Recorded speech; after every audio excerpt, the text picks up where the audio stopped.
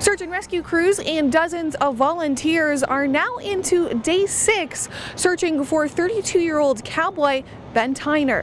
Search efforts continue to be coordinated by Nicola Valley Search and Rescue with assistance from search and rescue members from Kamloops, the Central Okanagan, Shuswap, Penticton, Princeton, Logan Lake, Chilliwack, and Surrey.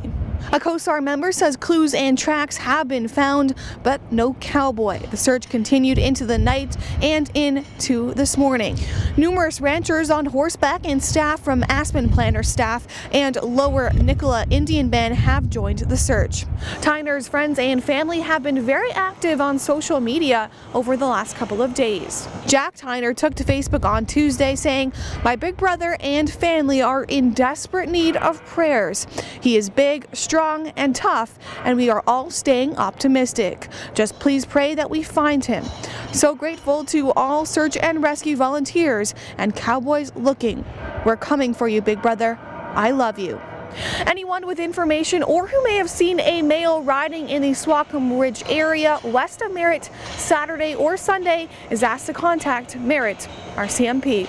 For Castanet News, I'm Madison Erhardt in Kelowna.